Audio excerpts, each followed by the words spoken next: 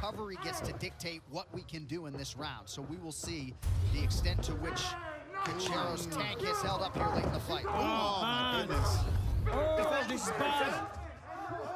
Oh, my God. man. I tell you, Dana White was not kidding. This kid is special. Yeah. He's fantastic. This is a sensational performance tonight. I'm